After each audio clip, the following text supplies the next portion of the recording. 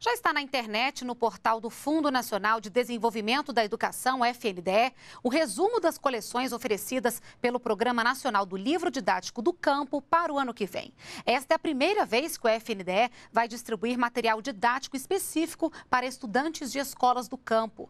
O programa atende escolas públicas rurais com até 100 alunos do primeiro ao quinto ano do ensino fundamental e também aquelas com mais de 100 estudantes que não tenham feito a escolha no Programa Nacional do Livro Didático realizada no meio do ano. Os livros pertencerão aos estudantes e aos professores, sem necessidade de devolução ao final do ano letivo. A distribuição integral das obras será feita a cada três anos. Cerca de 2 milhões e meio de alunos devem ser atendidos. Todos os detalhes estão no site do FNDE.